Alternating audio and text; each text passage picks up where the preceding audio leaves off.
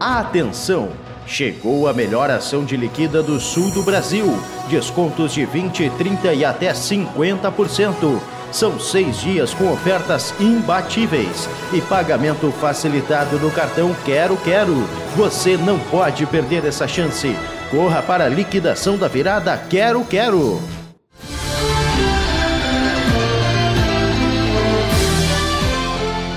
Nesse final de semana, reinaugura aqui em Tapes o Motódromo Manuel Pérez. E eu estou aqui com a equipe Arrancadões CCA, com a Yali e também com o Juninho, uh, que fazem parte da presidência da equipe. E eu gostaria de saber, Yali, primeiro, como é que vai ser essa reinauguração e o início da Copa uh, Costa Doce de Veloterra?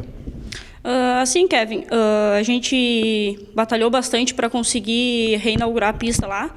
Conversamos com o Bruno, né? Uh, fizemos uma, uma, parceria com ele, a gente assumiu a diretoria. Uh, vamos estar re reinaugurando a pista com o campeonato de Costa Doce, vai ser agora esse final de semana, a partir das 7 da manhã às 7 da noite. Uh, o pessoal quiser levar, quiser fazer churrasco, quiser levar a família para lá, pode ir. Tem Copa, vai ser, vai ter almoço lá para vender, tudo na hora lá, tranquilo. E vocês já têm uma estimativa de quantas motos ou quantos inscritos tem para participar? Não temos ainda, mas assim, é, uma, é um campeonato que é para a região toda. Então, vem pessoal de Pelotas, vem pessoal de Porto Alegre, vem pessoal de Xangri-Lá, vem pessoal lá de cima, vem é, de todo o Rio Grande do Sul. Então, a gente tem uma estimativa bem boa, assim, que vai vir bastante público. A emoção está garantida? Está garantida, graças a Deus. Agora a gente está com uma, uma pista tanto para Veloterra como para Arrancadão. Então, o troço agora está bem organizado. A pista ficou por um bom tempo desativada, né? Ela foi inaugurada há alguns anos e ficou um tempo desativada. E agora essa reinauguração, tu acha que é importante para o incentivo do esporte aqui em TAPS? Ah, sim, sim. Uh, ela ficou bastante tempo parada, foi desmanchada a pista. Uh, nós tivemos que uh, fazer toda a pista de novo, não tinha mais nada desenhado dela, foi feito todo o desenho. Uh, foi feito um desenho novo ali, tiveram algumas alterações. Com certeza, para TAPS, o pessoal do Veloterra está muito empolgado que a gente conseguiu reabrir a pista, por causa que não tinha mais esse esporte aqui. Então agora o pessoal vai ter onde brincar, se divertir, uh, competir, né? Então o pessoal está bem, bem empolgado mesmo. A TAP sempre fez parte do calendário, fez por um bom tempo parte do calendário do automobilismo do Rio Grande do Sul, assim como do Veloterra. Será que essa pista dá um início para, de novo, a gente ter mais eventos ligados ao automobilismo e a esportes como esse? Olha, Kevin, creio eu que sim. A gente tem uma grande expectativa, né? Até porque essa pista ela sempre foi considerada uma das melhores pistas do Rio Grande do Sul. Então, a gente tem uma expectativa bem grande e por que não colocar os eventos no calendário também, né? Isso é uh, depois conforme a gente for conversando, uh, a gente pode ver com o pessoal do turismo, não tem o porquê não. Bom, e como é que vai ser o ingresso lá no evento esse final de semana? Uh, o ingresso vai ser R$ reais por pessoa. Tá? Uh, uma parte desse valor vai ser destinada ao pessoal do CAP, que é o pessoal que vai estar tá, uh, na portaria.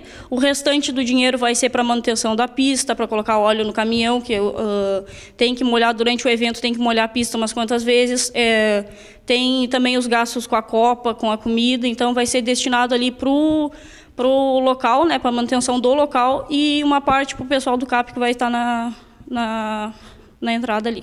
Bom, e no sábado acontecem os treinos.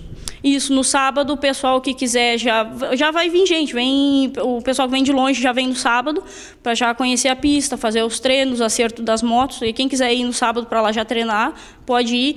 Uh, no sábado não vai ser cobrada a entrada, né? vai ser só no, no domingo, por causa que no sábado é só os treinos a não ser do pessoal que já vai para acampar. E sim, aí já vai pagar a entrada, já vai ficar garantido já para domingo. Bom, e o acampamento também vai poder acontecer lá, é isso? Sim, o pessoal que vem de fora já vão com barraca, já vão equipado para ficar acampado lá, para não precisar ter que ir só no domingo, já em cima da hora, né? Então o pessoal já vai, já vai cedo para garantir o lugar lá. Bom, e a equipe Arrancadões SA também promove um arrancadão em homenagem ao Canjica. Juninho, como é que vai ser esse arrancadão? Bom, dia 15 de janeiro, né, que vai cair num domingo, a gente vai fazer um arrancadão em homenagem ao nosso amigo Jefferson, mais conhecido por Canjica, que, tipo, ele era nosso amigo mesmo, né?